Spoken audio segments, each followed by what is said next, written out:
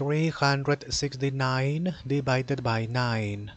3 is less, therefore next. 36 is not less, therefore with 36.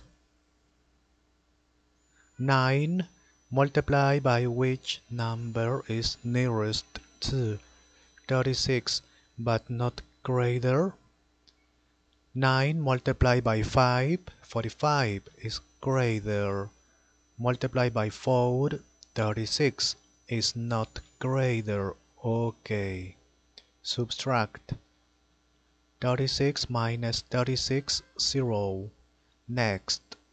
Eliminate 0 here. Okay. 9 9 multiplied by 1 is 9 is not greater. Okay.